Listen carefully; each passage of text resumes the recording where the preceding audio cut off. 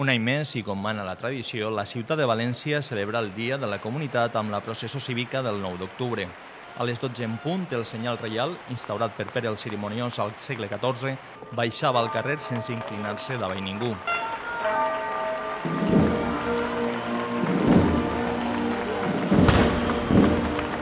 Allí l'esperava el seu portador, el regidor socialista Salvador Broseta, l'alcaldessa de València, Rita Barberà, i la resta d'autoritats municipals i autonòmiques per començar la tradicional processó cívica.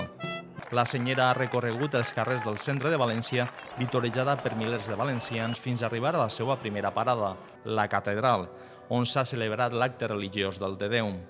Al finalitzar este acte litúrgic ha recorregut el carrer de la Pau acompanyada per milers de ciutadans fins al parterre, on s'ha fet l'ofrena floral a l'estàtua de Jaume I, conqueridor i fundador del Regne de València.